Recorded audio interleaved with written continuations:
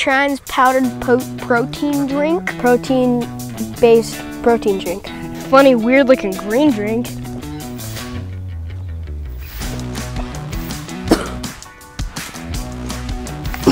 what is that?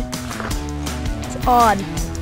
Probably good for you, but it's not, it doesn't taste good. It's so good.